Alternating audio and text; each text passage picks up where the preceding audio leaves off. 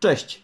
W tym filmie pokażę Tobie w jaki sposób zamontować głowicę termostatyczną do grzejnika centralnego ogrzewania. W moim grzejniku jest już zamontowany zawór grzejnikowy, a głowica jest dopasowana do naszego zaworu. Sam montaż jest banalnie prosty, ale należy zwrócić uwagę na dwie rzeczy. Pierwsza rzecz, ustawiamy maksymalną wartość temperatury na naszej głowicy.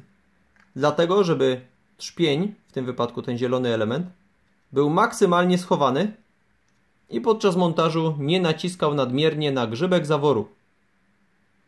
Druga sprawa jest taka, że musimy ustawić odpowiednio naszą głowicę tak, aby miejsce, gdzie jest wskazana ustawiona wartość naszej głowicy termostatycznej było dla nas widoczne. Czyli tak będzie źle, tak będzie w miarę dobrze, a tak będzie najlepiej. Dosuwamy głowicę i dokręcamy tą tutaj nakrętkę. Czynność jest banalnie prosta. Wszystko powinno nam się tutaj dokręcać bez problemu do oporu. I na samym końcu delikatnie za pomocą klucza nastawnego lub klucza do rur, w zależności jaką mamy nakrętkę, możemy delikatnie dokręcić tą nakrętkę.